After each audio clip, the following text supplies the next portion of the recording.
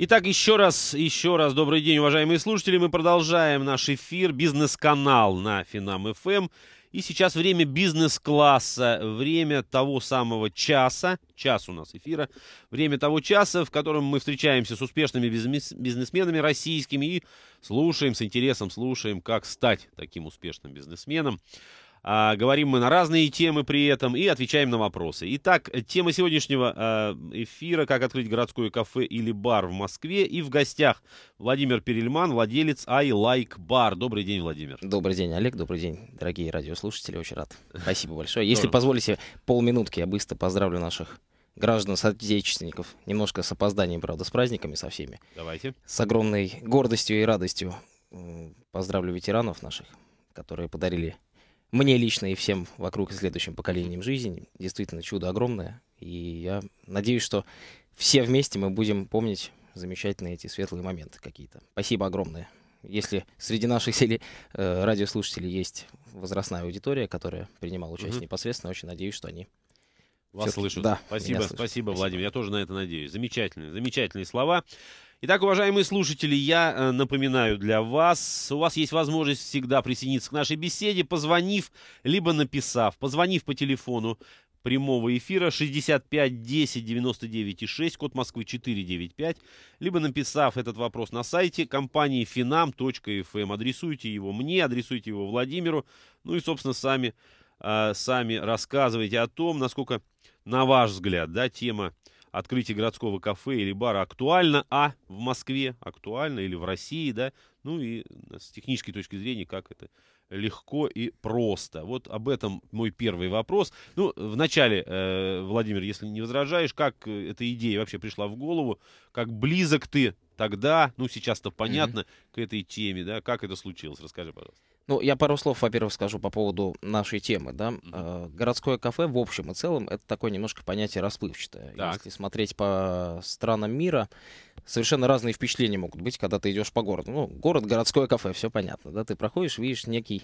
некий такой городской пейзаж. Uh-huh. В Москве это понятие, оно совершенно искажено, на мой взгляд потому как э, городское кафе может быть и рестораном, и угу. баром, и в общем и целом таким... Ну, неким... подожди, давай да. с самого начала, по полочкам, что называется. Городское кафе — это некое идиоматическое выражение, да, да это некий совершенно, термин. Совершенно и он верно. в Европе, как минимум, там, там где-то за рубежом, представляет себя вполне э, очертаемые какие-то, да? Я думаю, что там такого термина даже нет. А, То есть ага. это, в принципе, э, некое место, в которое человек, любой абсолютно, любого сословия, любого, любой любого жи- достатка, жизненного да. Да, позиции, uh-huh. какой-то достатка, естественно, может просто зайти в качестве гостя uh-huh. утреннего, вечернего, какого угодно, uh-huh. выпить, не знаю, все что угодно сделать. Да? Uh-huh. То есть это совершенно такой досуговый центр, так это назовем. Uh-huh. У нас это в общем и целом э, все-таки более серьезный ресторан, чаще всего. Да? И городское кафе получило такое название, мне кажется, лет 7 тому назад, как-то вот это появилось, когда пошло от смешения кухонь все. Uh-huh. То есть... Э, город многонациональный, uh-huh. мегаполис, uh-huh. городское кафе, и все это завертелось в такую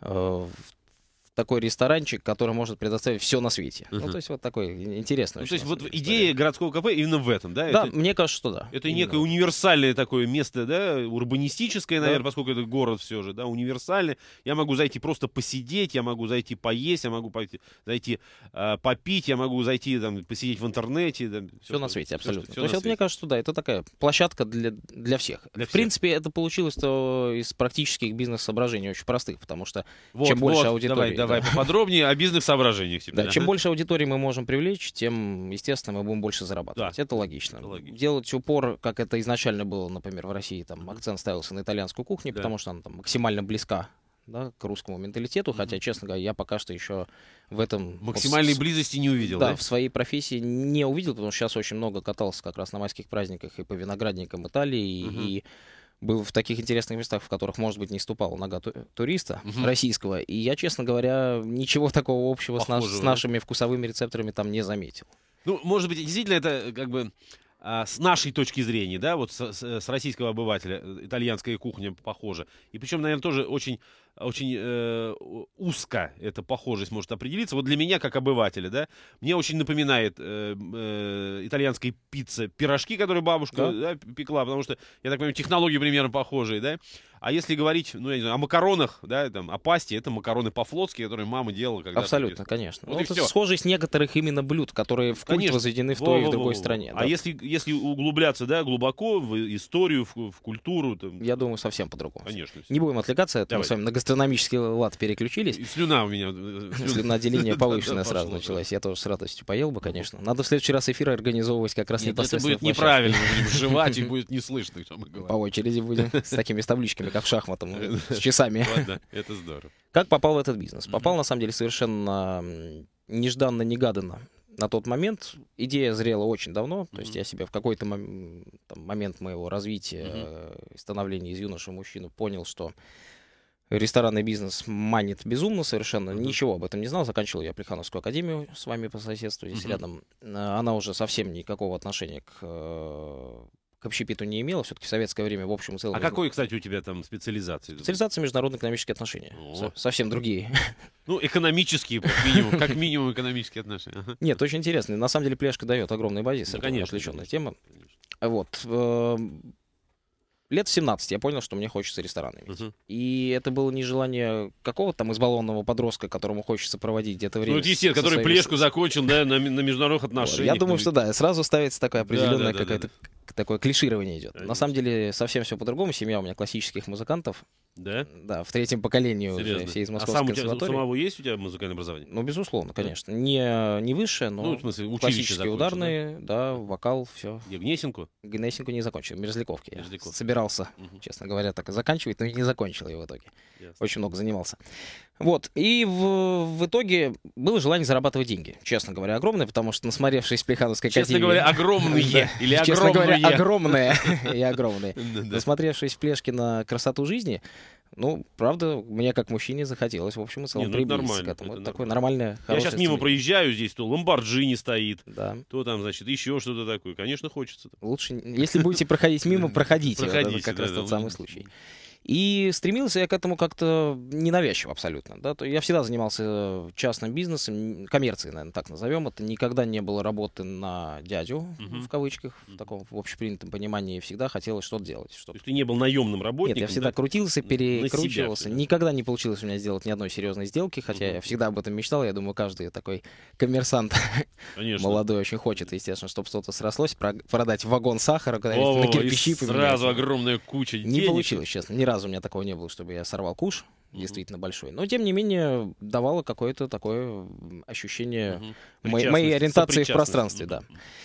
И несколько лет тому назад, собственно говоря, года три, я познакомился с людьми, причем познакомился абсолютно такой на волне дружбы гулянок. Uh-huh, Они uh-huh. серьезные питерские бизнесмены очень. Мы в Москве с ними встречались. Я их водил, показывал, приезжал к ним в гости. Абсолютно ничего такого. Ника- То никакой... это не деловое знакомство Нет, нет, нет, абсолютно дружеское, дружеское знакомство обычное. было. И так оказалось, оказалось, что совершенно случайно они были владельцами ресторана в Доме кино uh-huh. на Васильевской улице. В Питере? В Питере? Нет, нет, нет, в Москве, в Доме кино, а. на Брестской у нас. А. Вот, соответственно, сделали они там караоке-бар. Никакого отношения к ресторанному бизнесу они не имели на тот момент. Это был, ну, некий определенный статусный, статусная задача перед uh-huh, ними стояла, и этот бар в Москве иметь. В силу своих причин абсолютно. Uh-huh. Естественно, он у них был в минусе, что часто бывает. И как-то они ко мне прониклись. То есть они его здесь э, э, открыли, да, поставили кого-то управлять наверняка и поживали, жили, поживали. Абсолютно, да. То есть они год э, ну, вкладывали, продолжали деньги, да, да, надоело, да. То есть человек очень таких серьезных бизнес-принципов хотел вернуть все-таки то, что нужно, свои задачи он выполнил определенные, переговоры, которые нужно, провел. Там, естественно, в общем и целом, насколько я знаю, это старт ему дальнейшей его уже очень серьезной карьерной лестницы тоже принес, так что инвестиции были правильные. Ну Но хотел вернуть. И я очень сильно за это его уважаю. Он прекрасно понимал, что я не профессионал в ресторанном бизнесе, опыта у меня никакого в тот момент не было, uh-huh. но видел во мне порядочного человека с горящими глазами uh-huh. и, собственно говоря, поручил мне просчитать. Кстати, кстати, извини, пожалуйста, вот на твой взгляд, вот этого достаточно? У тебя нет опыта, да, у тебя нет а, какого-то, может быть, баз- базовых знаний даже, ну, за исключением, конечно, uh-huh. хорошего диплома, но ты порядочен. Я извиняюсь, тебя... базовых знаний за исключением хорошего диплома, это классно звучит. Базовых я имел в виду именно в, этом, в этой отрасли. А, но ты порядочен и у тебя горят глаза. Вот этого достаточно для того, чтобы доверить тебе, ну, с точки зрения инвестора какие-то? Я думаю, смотрите, ситуация какая. Человек вложил сумму X и понимает, что он вложит сумму X, деленную на 3, ну, там какую-то треть от того, mm-hmm. что он уже вложил, уже не так страшно это потерять. Да? Mm-hmm. Есть некая вероятность того, что, во-первых, получится. Mm-hmm. Во-вторых, э, если человек не привык отступать, кому-то все равно нужно это доверить. А рядом был я, и было видно, что я mm-hmm. из понятной абсолютно семьи, с понятной историей. Но более того, мне кажется, в любом бизнесе, который связан с большой-большой степенью коммуникации и зависит именно успех бизнеса от того, насколько ты плотно общаешься с людьми, с окружением, с командой, с гостями, там важен вкус. Да?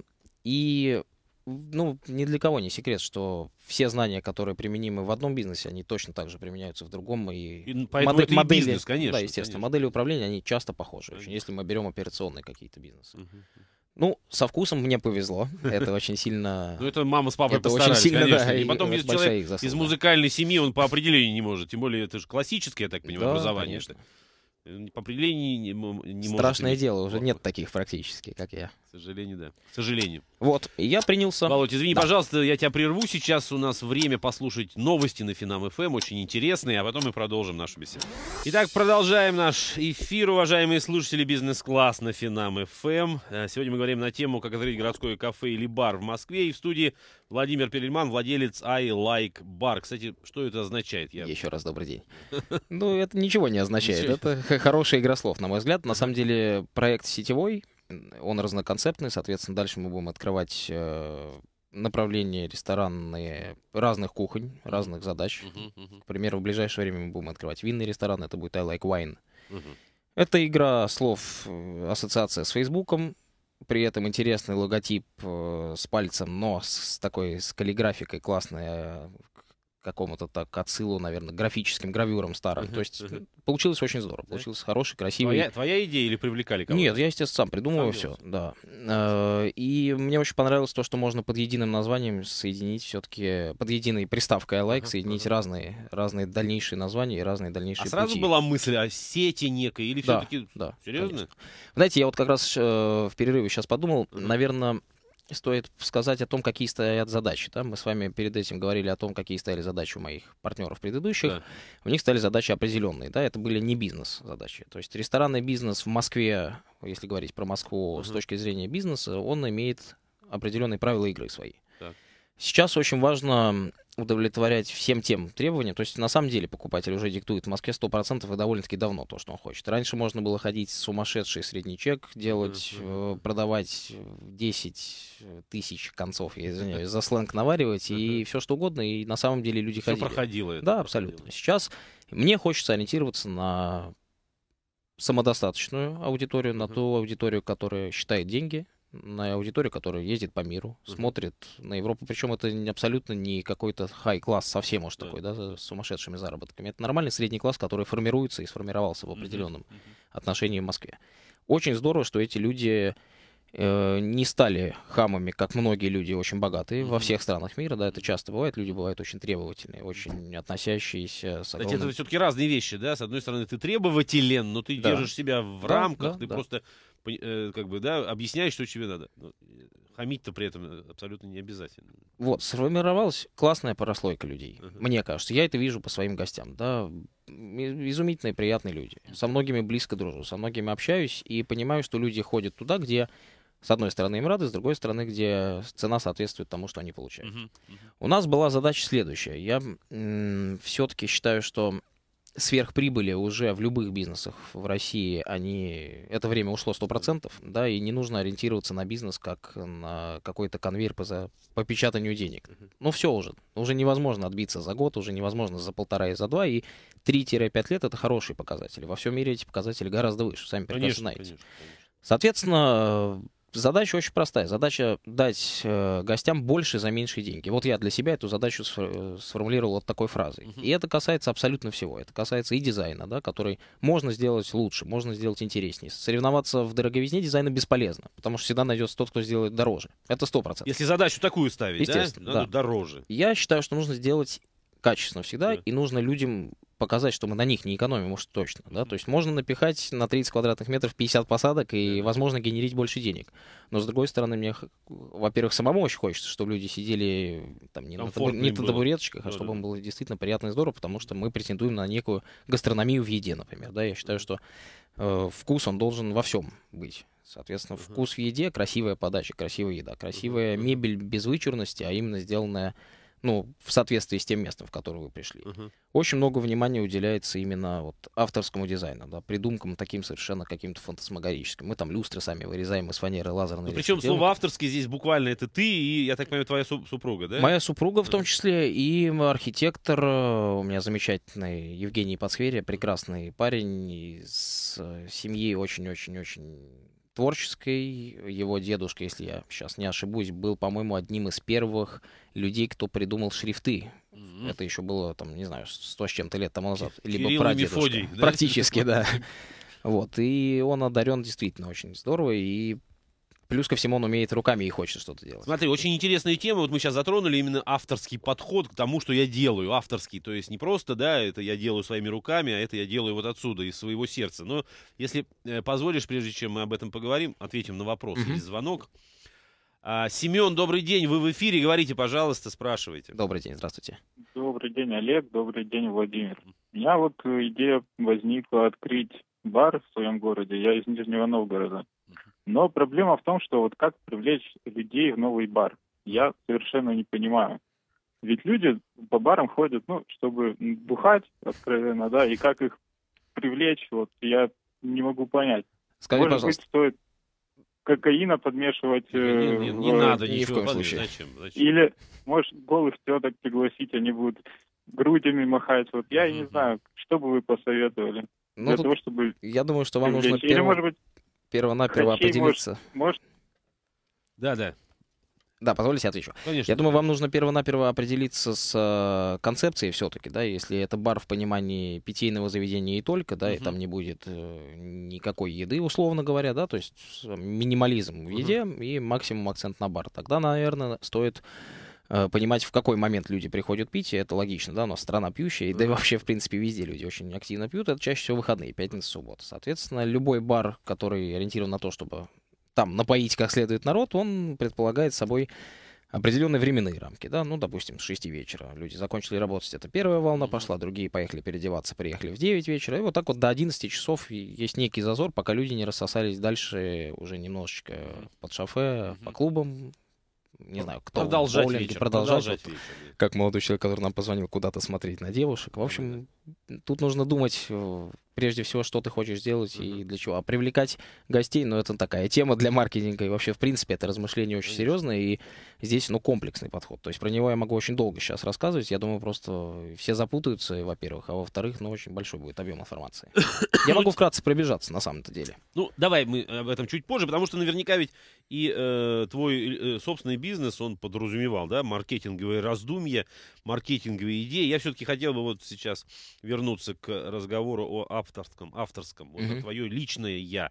Все-таки это не ограничивается, да, тем, хотя это и тоже очень здорово, да, что я делаю с, собственными руками, потому что я как бы самовыражаюсь в этом случае.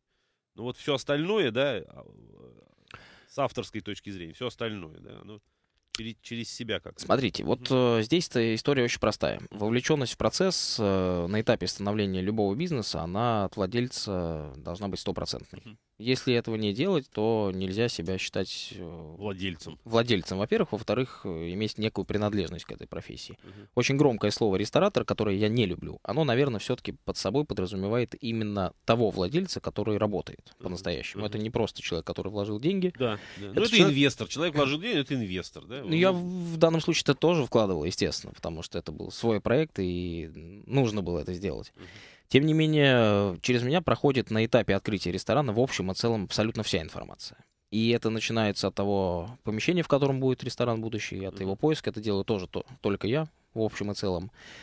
И... Э, Подожди, это делаешь ты физически или принимаешь решение ты, а Я физически езжу занимаются, помещение. Как мне девочка знакомая говорит, специально обученные люди. Вы знаете, специально обученных людей в этой сфере, мне кажется, очень мало. Mm-hmm. То есть людей, которые действительно понимают, что нужно для ресторана, mm-hmm. да, какой там список задач. Ну, есть критерии определенные, понятно, что электричество, еще что-то, нужно увидеть. И дальше должна сработать чуйка. В общем и целом, бизнесмена, который этим занимается. И вот здесь опять вот тот самый авторский подход, да, то есть э, как бы одних э, сухих э, параметров, ну, если мы говорим о помещении, например, да, одних сухих параметров недостаточно.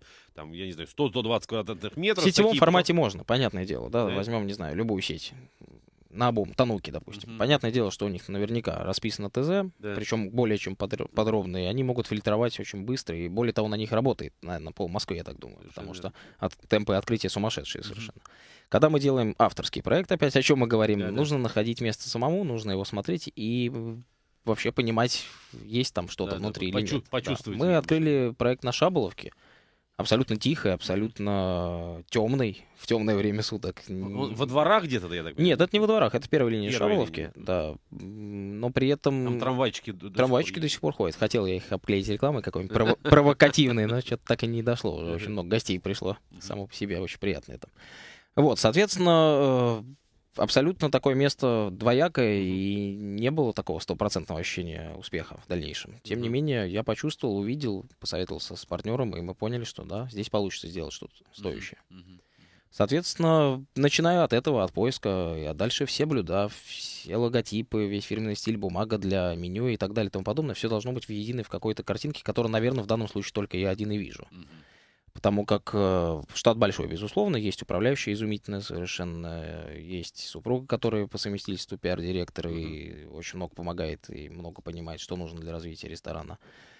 Э, но, тем не менее, целостность картинки, скорее всего, только у меня в голове в данном случае есть. То, к чему мы идем. Потом ресторан, он очень живой, и меняться нужно ежедневно.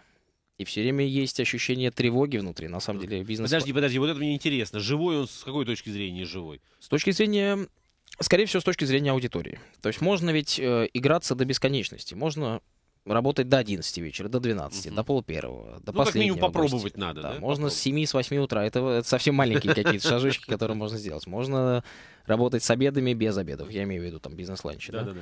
Можно подавать в ночью только десерты, только... ну то есть вариаций миллионы. И все это отражается на публике. И каждый раз, когда ты принимаешь любое самое маленькое решение, вроде которое можно шашкой махнуть, и как да. бы все ничего не страшного не произойдет. У меня лично очень сер... сильно бьется сердце uh-huh. за это, да, потому что я переживаю. По поводу того, что не изменится ли публика, да, Безусловно. после моего решения. И вообще, в принципе, ее количество. Да, да, да. Публика у нас поменялась. Мы работаем с э, сентября того года. Uh-huh. Э, еще года нету.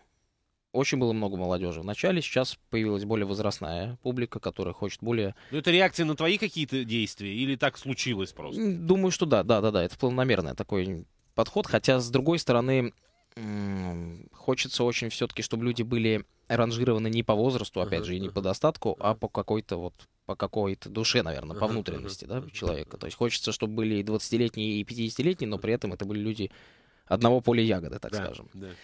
Это сложно. Вот здесь как раз э, нужно очень здорово лавировать. То есть здесь нужно на изменение ситуации, когда чуть-чуть идет перевес с одних сторон, там чуть-чуть больше молодежи. А как ты меньше. следишь вот за это изменение ситуации? Ну, хожусь. То есть ты ежедневно просто вот, да, да сидишь и смотришь. И... Ну, я там не то что сижу, я бегаю все время, ну, активничаю. Ну, то есть присутствуешь ты, да? тем не менее. Не Плюс ко всему, ну, понятно, есть экономические показатели, есть отчеты. Можно смотреть миллион всего, что продается по блюдам. Угу. Надо находиться в ресторане. Вот угу. тут-то как раз я чуть-чуть и боюсь масштабировать, потому что не Сейчас получится. Мы еще раз новости послушаем, да, потом расскажем. Я сразу. Итак, друзья, мы продолжаем наш сегодняшний эфир э, «Бизнес-класс» на Финам ФМ. Меня зовут Олег Дмитриев.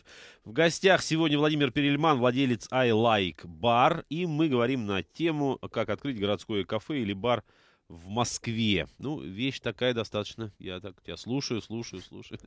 Непростая все же, да, Володя? Вы знаете, ну, на самом деле, риски велики, честно говоря. Mm-hmm. Потому что, мне кажется, это один из немногих бизнесов, где вероятность облажаться есть абсолютно во всем. Mm-hmm. Это начиная от хостес, которая некрасиво встретила как-то не так, допустим, от настроения гостей, что еще более не, ну, подожди, сложная здесь история. Это такой ча- частный случай, ты говоришь. Это же... Нет, я вам сейчас вот могу просто давай, несколько давай, примеров давай, привести, несколько. будет понятно, что бизнес зависит реально от всего. И тут э, именно вероятность человеческой ошибки, человеческий фактор, он очень-очень большой. Потому что когда пилот самолета, он один отвечает за полет, условно, и диспетчер, да? А в ресторане получается, что этих пилотов 10. Это повар, причем поваров в этот момент может быть 12 человек на кухне, например. Это официанты, которых uh-huh. тоже много, и так далее и тому подобное. То есть каждый может облажаться. Uh-huh. И это очень, на самом деле, довольно-таки страшно, потому что э, может идти все прекрасно. Очень много было у меня таких примеров, когда изумительный банкет проводится, uh-huh. или вообще отличный вечер. И потом вдруг какой-то маленький-маленький косячочек, uh-huh. и все. И все на. И настроение испорчено, да. И либо ты даришь гостю бутылку, либо ты даришь ему ужин. Успо- очень часто Успокаивая бывает. при этом. Ведь все люди, представьте, да, у нас работает 80 человек, на предприятии в смену, допустим, около 30. И понятное дело, что девчонки молодые, ребята, у кого-то настроение лето, mm-hmm. погоды, машину надо купить, кредит да, заплатить. Да. Вчера выпили, сегодня вышли на работу. Ведь очень-очень все то же самое. Так же, как мы живем гости, приходим в ресторан в разных состояниях души, точно так же и люди работают. И вот здесь как раз м- близость двух людей незнакомых, да, ну, либо пласта людей, да, ресторана и человека, она вот очень, очень опасна. И здесь задача любого ресторатора действительно самому, наверное, на первых этапах, хотя бы где-то полгодика, создавать ощущение того, что о человеке думают постоянно. Uh-huh. Да?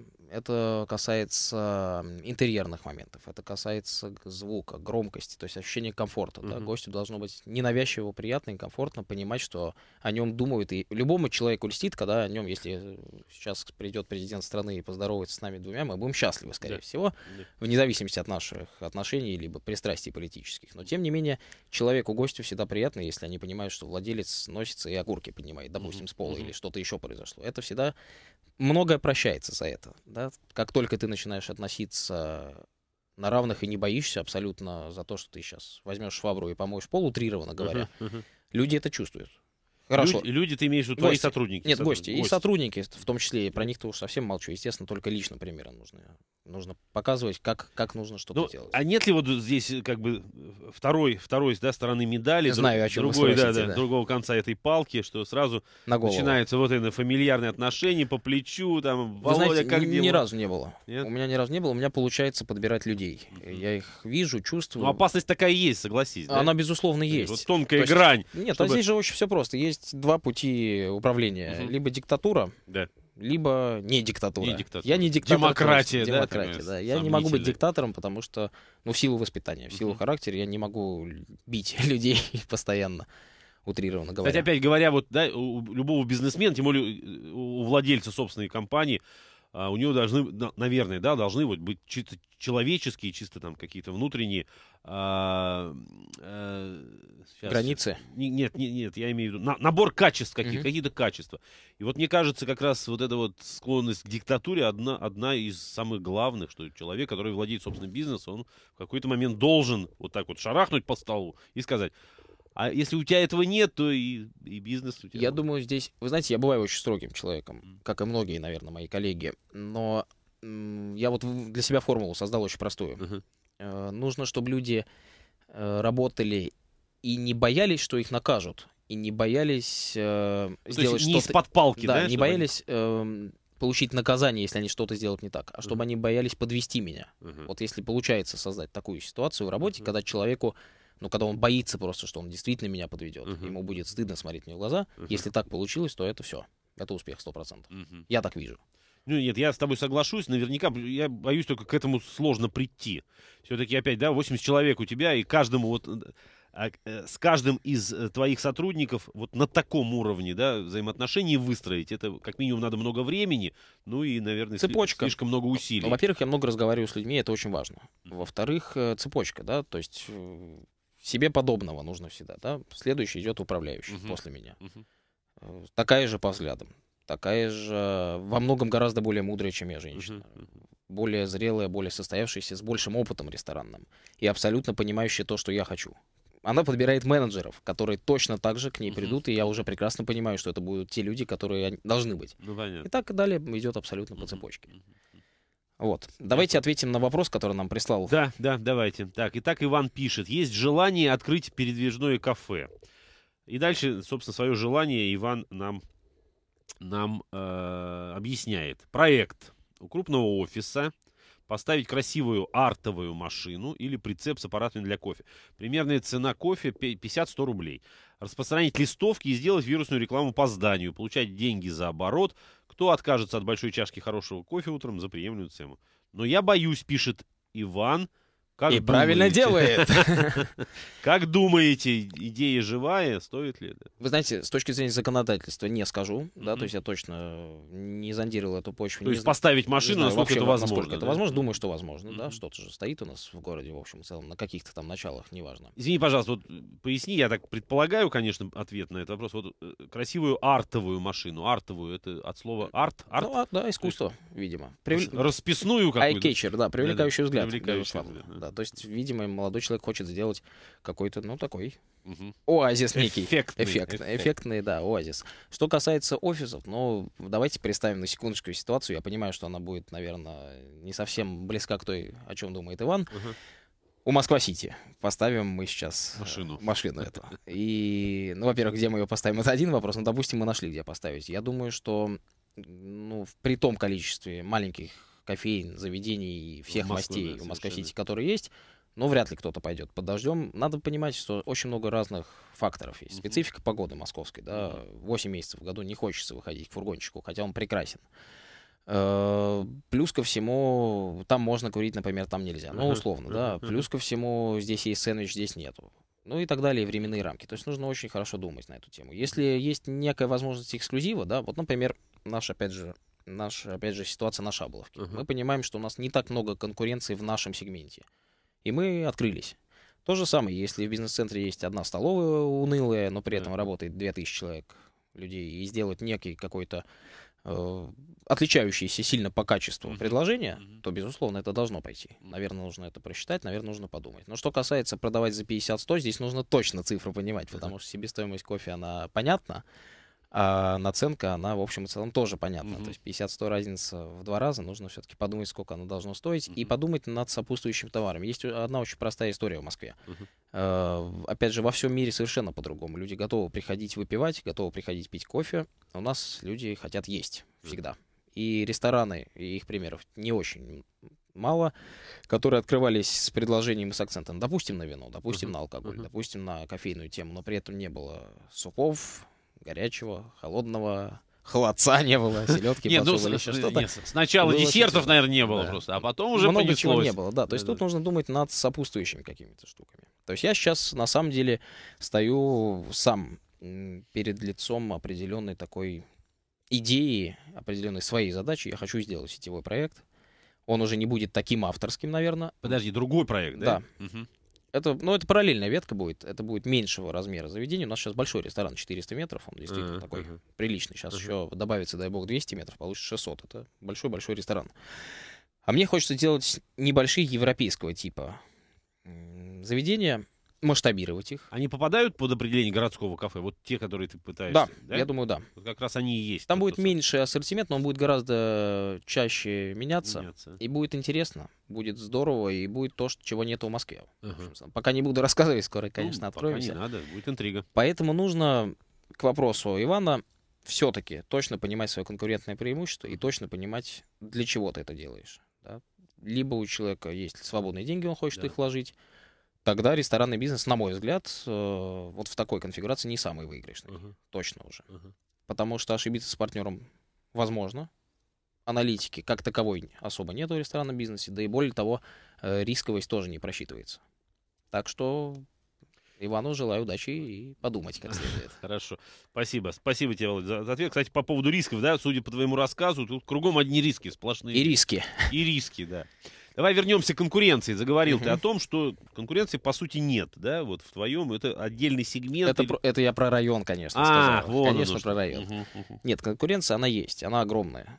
И огромная настолько, что многие маститые возрастные и крутые рестораторы, рестораторы, некоторые свои проекты закрывают. Угу. Лишь только потому, что есть действительно сильная конкуренция. Серьезно. И лишь только потому, что тяжело контролировать, наверное, такое количество проектов. Ну, Аркадий Новиков, допустим, uh-huh. около там 50 или я не знаю, сколько сейчас осталось uh-huh. ресторанов. Но я не представляю, как он это сделал. Это фантастика для uh-huh. меня, да. То есть это, наверное, образец для показаний. Но и тем не менее, он ошибается, да, uh-huh. наверняка. Может быть, не он, может быть, команда. Но ему не страшно уже ошибаться. Uh-huh. В общем и целом можно. То есть, подожди, мы говорим о конкуренции, в принципе, в сфере питания, да, питание, я так понимаю. Да. А, поэтому если и заниматься, да, ресторанным бизнесом, то нужна какая-то свежая идея, вот это то, о которой мы сегодня говорим. Я думаю, что две вещи. Uh-huh. Свежая идея, подход, Мы ничего экстраординарного не делаем, да, но мы стараемся делать каждое, каждую услугу, которая предлагается в нашем заведении, максимально качественно uh-huh, сделать. Просто стараемся это делать. И не всегда получается. Но, тем не менее, э, завоевать гостей очень сложно. На самом деле, можно... При... Вы, наверное, сталкивались с ситуацией, когда ты не знаешь, куда пойти вечером сегодня. Допустим, наступает суббота, и ты созваниваешься с друзьями, думаешь, куда же пойти-то, ребят? Uh-huh. Вроде места миллион, а каждый раз ты думаешь, куда идти. Это на самом деле... Ну, там решается очень просто, да, куда поближе. Куда поближе, да, да. где пиво похолоднее. Ну, и совершенно. Или вино поинтересней. Угу. Да, но тут вопрос, опять же, в каком месте мы открываемся. Да? Можно открыть на Золотой улице Новый Арбат что-то. Uh-huh, uh-huh. Абсолютно, я уверен, сто процентов. Не факт, да? Что да ты... нет, нет, конечно. Нет, но вы знаете, есть вот, что касается Нового Арбата, есть э, определенный такой постулат, который я наблюдаю лично uh-huh. несколько, несколько лет подряд. Сетевые проекты, которые только входят на московский рынок, открывают первый и второй, наверное, проект на Арбате, либо Тверская, либо какой-то бульвар. Uh-huh. Uh-huh понимая, что там возможно будет ноль или минус, но uh-huh. это имидж, это бренд, это реклама. Uh-huh. Понятное дело, что Арбат сумасшедшее место с точки зрения проходимости uh-huh. и проездного трафика. То есть в этом смысле они идут, сознательно идут да? на возможные убытки, да? Я думаю, что это, да. Это вот такой маркетинг. Поэтому место не определяет точно. Сейчас в Москве я это понимаю. Есть много проектов э, дружественных мне людей, которые создают рестораны, где бы я бы никогда в жизни вообще бы даже не подумал его открывать. Серьезно? Да, но тем не менее есть фишка, есть идея, есть uh-huh. либо авторский подход к кухне, да, либо владелец сам шеф-повар и понимает, что он будет делать, что uh-huh. он сам поедет на охоту, убьет кабана и приготовит из него котлеты или суп потом. Uh-huh. То есть вот такие моменты сейчас людям интересно, да, действительно вот формируется поколение, которое хочет искать что-то новое. И много очень паназиатских веяний пошло, uh-huh. и разных других каких-то. Япония уже, японская кухня чуть-чуть отходит. Uh-huh. Но, тем не менее, всегда будет там превалирующая масса гостей ресторанов, которые будут ходить за хорошим стандартным качеством, чтобы их ожидания были оправданы всегда, чтобы uh-huh. было единство того, что они получают. Чтобы uh-huh. Цезарь как год назад был одинаковый салат, uh-huh. точно так же, чтобы он был через год. То есть, опять я задаю вопрос, да, вот я, мне захотелось что-то, ну, там, гастрономического попробовать, да, чтобы это было вкусно, ну, я знаю, сколько это стоило. И я иду именно в то место, я знаю, где, где, да, где меня не обманут. То есть вопрос, э, с какой целью идете? Либо гастрономическая идея uh-huh, uh-huh. вечер провести. На самом деле, мне очень нравятся такие походы. Я люблю пойти в какой-то ресторан и устроить и покушать. Великое покушать. пиршество. Да, не обязательно да. переедать, но чаще всего так и получается, потому что хочется попробовать все, если интересный Конечно, ресторан. Да. И сейчас в Москве много людей, которые так делают. Uh-huh. И по миру катаются, и у нас, собственно, в городе. Uh-huh. Вот. Что касается конкуренции, мы, видимо, да, да, да, после мы рекламы. После, после, мы новости, новости, новости послушаем на финал. Отлично, потом продолжим. Итак, друзья, остался последние 12 минут нашего эфира. Так о многом еще хочется поговорить, поэтому сразу же мы, да, Володь? Приступ. Я перебью, я услышал в очередной раз название передачи и понял, что бизнес-класса, к сожалению, за такой короткий срок не получается. Ничего страшного, ну, какой, какой получается. Это я напрашиваюсь в гости. Да, естественно, естественно, я уже это понял. Значит, кстати, отвечает э, на, на, э, да, на твой совет э, отвечает Иван. Ладно, говорит, теперь точно не откроюсь. Ну, я вот человеку только что мечту какую-то порушил, да, да. нехотя. Нет, ну, на самом деле, мне кажется, Иван уж да, слишком а, активно принимает стратегические решения, потому что из твоих слов... Это же мнение. Конечно. Во-первых, это мнение, а потом из твоих слов было понятно, да, что существует огромное количество нюансов, которые просто нужно учесть, правильно, для того, чтобы однажды не остаться у разбитого корыта. В частности, вот маркетинговые все вот эти вещи, маркетинговые идеи, это всегда очень важно в любом бизнесе. Ну и а, на твой взгляд, да, как это... Вы знаете, я сейчас пару вещей скажу, они, наверное, будут как-то нелепо слегка звучать. У меня опыт двух ресторанов есть. Uh-huh. И что первое место, там четыре ресторана до этого закрывалось, э, за два месяца вышло на какие-то космические плюсы, uh-huh. и это редко бывает в ресторанном бизнесе, на самом деле. Много моих коллег ну, полгода, год могут терпеть хорошие убытки, mm-hmm. сопоставимые с там, половиной стоимости инвестиций в сам ресторан. Операционный минус, я имею в виду. Mm-hmm. Mm-hmm. Вот, э, мне очень сильно повезло. И с первым, со вторым проектом, с первого месяца, во втором про- проекте, вот сейчас, в собственном в I Like Bar, я в плюсе с первого месяца, это на самом деле... В плюсе с первого в плюсе месяца? с первого месяца.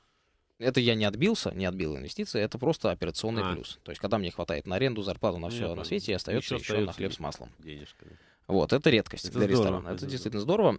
Э, при том, что проект большой, и понятное дело, что инвестиций было довольно-таки прилично. Угу. И вот я как раз о чем хотел сказать, что я не до конца понимаю секрет успеха. Почему это произошло? Вот, вот, честно вот. говоря. То есть я знаю от А до Я, что нужно делать с маркетинговой точки зрения. Я знаю все механизмы. Э, хотелось сделать нетривиальные какие-то штуки. Я их делал, пока еще перетяжки были не запрещены, и вешал там смешные слоганы. Uh-huh. Что-то придумывал такое нетривиальное, развешивал это на самом деле я ее отношу к разряду гениальных идей, я уж извиняюсь за отсутствие Давай, скромности. Да. Мы повесили два года назад на всех столбах в районе Белорусской арбузы в авоськах и написали там нашу рекламу. То есть мы залезали на лестницах, я лично это сделал, там на трехметровую высоту висели арбузы, их, естественно, снимали, фотографировали, было смешно очень. Uh-huh. Я уж не знаю, какой отклик произошел, но мне было фан, да, то есть это действительно было здорово. Uh-huh. И вот такого рода маркетинг, да, Иван, кстати, использовал в предыдущем сообщении термин вирусной рекламы. Это uh-huh это, наверное, что-то нечто похожее. Uh-huh. Наверное, все-таки вирусный называется именно не раздача листовок, а какие-то там нетривиальные совсем идеи. Uh-huh. Вот это отдельная часть, да, мы ее сразу в сторону убираем. Когда ты что-то придумываешь такое, чего никто не делал, это весело, здорово. Например, сеть Ми-5 там несколько лет тому назад вешала билборды с очень смешной дев... девчонкой. Она до сих пор висит, эта девочка, да. да. Но, с другой стороны, смотри, ведь не факт, что именно эти вот, да, нетривиальные, как ты их называешь, а маркетинговые ходы и приводят к... Я их прям отодвинул именно да. поэтому. То есть это доп. Да, и есть огромная рутинная часть. Во, во, во, во. Э, во-первых, тебе не должно быть стыдно за то, что ты рекламируешь. Это секрет любой рекламы. И я как раз не понимаю тех счастливцев, которые умудряются продавать что-то в неких магазинах на диване, например. Да, мне кажется, полную ерунду продают. Но, тем не менее, наверное, тоже свято верят в то, что это здорово. Ну и вот здесь, да, да вот этот э, как это, великий двигатель да? рекламы. Абсолютно. Смотрите, да, вот... Нужно верить. Нужно верить Совершенно в то, что ты продаешь. Более того, нужно в ресторане создавать штучки какие-то, вот я именно таким словом это назову, uh-huh. которые могут стать рекламным поводом в самом, в самом ресторане. Uh-huh. Это смешная подача чего-то, блюда, коктейли или еще что-то. Это какие-то салфетницы мы сделали в виде лайка, потратили на них кучу денег, но они прикольно их воруют, значит, здорово все. Yeah, yeah. Это... И причем все это делается в расчет на то, что Конечно. человек э, да, пришел в ресторан, все это увидел, потом пошел, рассказал кому-то. Ну, безусловно, тот... это, это картинка, которую мы создаем. Да. Очень много используем книг и в таких ракурсах, в которых мало кто использует. Uh-huh. Там, подставка для в туалете вместо ноги из книг идет, да, стеллажи кривые из книг, очень смешные и забавные. То есть много-много поводов нужно создавать, э, которые потом в дальнейшем помогут людям сарафан включить. Да. Это важно. Угу. Плюс ко всему, ну, есть в Москве уже определенные трендовые штуки. Это веранда большая, красивая, с кондиционером, без кондиционера, открытая, закрытая, какая угодно, уютная, замечательная, плюшевая и веселая. Угу. Все курят кальяны, всем очень все здорово. Угу. То есть веранда, мы понимаем, что это акцент, на который нужно в Москве уже, в московской действительности, если ты открываешь городское кафе, модное место, ты должен, as a must, это должно быть, сто процентов. Плюс ко всему, э, очень много идет хрестоматийных задач. Это Facebook, все, все социальные сети. Uh-huh. Это работа с э, критиками, с изданиями тематическими, Афиша, Тайм-аут, The Village и прочее, прочее, uh-huh. прочее. Это ежедневная работа именно над сайтом, над Фейсбуком, для того, чтобы была жизнь, для uh-huh. того, чтобы это было видно. Плюс ко всему в дальнейшем ты должен создавать... А вот здесь, кстати, нужен специально обученный человек. Безусловно, да, да, конечно, конечно, конечно. Человек должен следить, должны быть классные фотки. И все должно делаться дорого. Вне зависимости от того сегмента, э, где да, ты работаешь. Да. То есть полиграфия должна быть дорогая, угу. фирменный стиль должен быть дорогим, бумага, все должно быть дорогое. Угу. Это люди чувствуют точно абсолютно. Но это, естественно, если мы открываем сеть э, пивников со средним чеком 100 рублей, угу. не надо, чтобы было дорогим, это отпугнет, никто не придет, наоборот. Тем не менее, в Работает нашем, как антиреклама. Да, в нашем формате нужно, нужно, чтобы было здорово. И именно не кричащая какая-то прям кипучая смесь гордости и да, тщеславия да, всего на свете, а именно хорошая, интеллигентная, такая прям выверенная, классная Здесь опять, подача. да, логично э, вспомнить то, что мы начинали, да, поговорить о вкусе, о неком угу. вкусе, да. Дорого — это не всегда хорошо, дорого — это не всегда то, что нужно, да, вот есть... А вот безвкусно — это всегда безвкусно. Во, во, во, во. Вы знаете, Даже если про... дорого. Есть еще небольшая проблема с нашей угу. страной, честно говоря, точнее, с людьми, которые угу. ее населяют. Много людей, у которых нет вкуса, угу. к сожалению, ни к чему. И причем это распространяется абсолютно везде. Ни в одежде нет вкуса, угу. ни в музыке. Угу нет обаяния внутреннего какого-то, нет внутреннего вкуса к прекрасному. Нет вкуса к еде в конечном итоге, uh-huh. да, то есть одному человеку это вкусно, и я иногда просто ну, в полном шоке uh-huh. пребываю, мне uh-huh. рассказывают, я была в том-то месте или был в том-то месте, uh-huh. что-то съел, и это вкусно, и я понимаю, что ну, это совсем невкусно, ну, да. и есть это невозможно. Ну, да. И тут тоже нужно понимать, что нужно к реалиям к этим готовиться. Подожди, а вот есть вот проблема, смотри, я с тобой соглашусь, да, по поводу отсутствия вкуса, по поводу, ну, своеобразного вкуса, давай так это назовем более корректно. Но с другой стороны... Да, что-то я прошелся как-то лихо. Не, нормально, нормально, нормально, нормально, нормально. Смотри, но с другой стороны, вот, да, сейчас пафоса немножко нагоним. Ты как бизнесмен, у тебя есть все-таки некая миссия. Ну, опять-таки, если мы говорим, что ты бизнесмен не просто, чтобы бабок, да, бабок настричь там за короткий срок, а ты вот действительно вот отсюда, да, что-то людям даешь, ведь это так в конечном итоге. У тебя есть некая миссия, да, ты признаешь, что вот части а, твоих потенциальных клиентов, ну так, вкус этот самый хромает. И вот здесь два... Ну, Их э, минимум, слава богу. Да, да, соглашусь с этим, да, слава богу. Но тем не менее, смотри, если на них ориентироваться, и здесь два пути решения проблемы, да, два пути решения проблемы. Либо ты все-таки с точки зрения вот этой миссии, да, предлагаешь им то, что их, ну, такой не очень убедительный, да, подход, их вкус все-таки сможет изменить, угу. да, в ту сторону, которую ты покажешь. Либо ты, наоборот, к ним делаешь шаг и говоришь, ребят, ну, вам это вкусно? Ладно, я вам это сделаю. Ешьте на здоровье. Вот идет Мессия, да, да, процитируем да. название книжки Дины Рубиной, как раз которого недавно звучало, я так краем ну, я еще раз говорю, ты извини за пафос, но тем не менее... Нет, я знаете, что скажу? Я скажу очень простую ситуацию. Так же, как у нас в персонале, я уже зациклился на этом, э, подобное к подобному, у нас нет гостей, практически тех, которых не хочется видеть. Вот честное слово, да, когда создаешь атмосферу, где какому-то определенной категории людей, извиняюсь, какой-то определенной категории людей некомфортно, не в силу того, что их там пинают или да, да, да, вышвыривают, да, да. да? а именно просто они понимают, что они не в своей тарелке угу. и не, не в том социуме.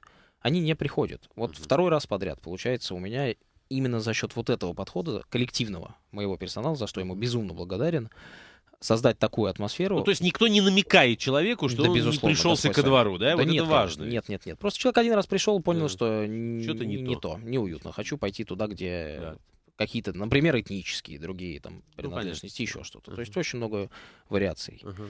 И нужно фильтровать-то не чеком. Вот вы видите, в чем сложность-то большая. Uh-huh. В среднем сегменте в формате городского кафе очень тяжело, потому что ты не можешь отсечь публику за счет э, дороговизны да, твоего предложения. а можешь... это проще всего, заметить, да? да? Это безусловно. проще всего. Здесь не получается так. И вот здесь нужно именно атмосферой. То есть здесь делается все только атмосферой. Ту атмосферу, которую ты посадил, угу. взрастил, она в конечном итоге дает некий результат. Вот такой положительный в виде, в виде того количества гостей правильного, подобранного и по формату, и по всему на свете, да, по, угу. по каким-то принципам жизненным. Ну, а все-таки а, в разговоре о миссии. Миссия. Я безумно счастлив, что я стал участником этого парада, этого процесса. этого процесса, то, что я отношусь к этой профессии. Я надеюсь стать действительно нагоним пафоса ресторатором с каким-то с именем не, не для бахвальства. Мне просто хочется действительно сделать много проектов. Действительно очень хочется, чтобы они были экономически эффективными. Я буду страдать безумно. Я знаю, что я, наверное, через это пройду, когда облажаюсь вот, но надеюсь, что не так скоро этот ну, момент. Я, я извини, добавлю, что да, человек, который Для людей миссия, ни разу не облажался, ему сложно достичь чего-то. Ну, каждый день мы ошибаемся большого. все равно. Конечно, конечно. Вот, Потому миссия, что... э, у меня нет миссии перевоспитать людей, честно говоря. Никакой, uh-huh. я просто не воспитатель.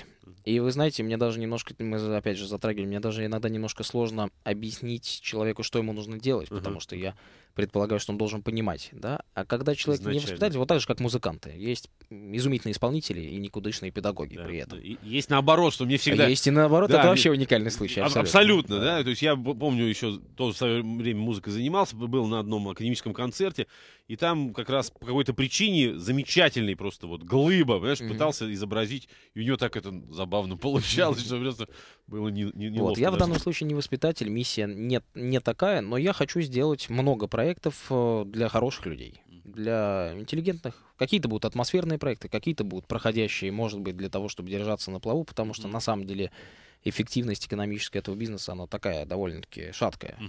И по сезонности, и в принципе... Ну от, и учитывая, да, что от, от многого зависит, да, очень от вот, многого. Поэтому что-то буду делать для того, чтобы это генерило кэш, говоря сленгом, свойственным вашей радиостанции, да, да, если да, можно. А что-то буду делать для души, безусловно.